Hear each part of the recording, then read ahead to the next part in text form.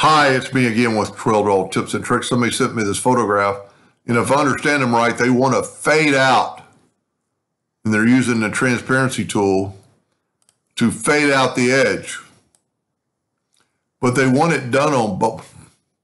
Huh. They want it done on both sides. Well, if you go here and go back to the transparency tool and go to this side, that side goes back. So what you can do, get that a little more perfect. Pick it and go up to bitmap and convert it to a bitmap. Doesn't matter what color, I'd keep the DPI high. And then when you do that, you can grab the transparency tool again and you can do that side. So you've got both sides done. Now, I don't know if you could do all four, um, but it'd be worth a, you know, and so that's doing 100%. So that way you've got both edges of the photograph done.